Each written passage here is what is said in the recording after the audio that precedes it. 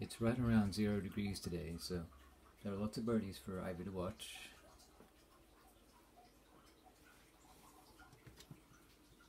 Sometimes, hey?